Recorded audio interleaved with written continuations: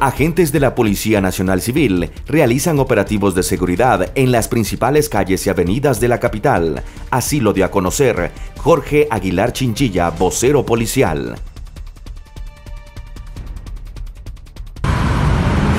Inician operativos de seguridad ciudadana por parte de la Policía Nacional Civil, sector Calzada Roosevelt, unidades especializadas como Fuerzas Especiales, Grupo de Reacción Inmediata Lobos, agentes eh, K9, específicamente agentes eh, de la unidad eh, antiexplosivos, agentes de investigación criminal, el grupo antipandillas, DIPANDA, el Centro Antipandillas Transnacional. Los operativos de seguridad ciudadana han comenzado por parte de la Policía Nacional Civil, sector de la calzada Roosevelt, identificación de personas que se conducen a bordo de autobuses de color rojo, personas que se conducen a bordo de motocicletas, a bordo de taxis. Es importante el trabajo de la seguridad ciudadana por para la Policía Nacional Civil, al igual que para todos los guatemaltecos.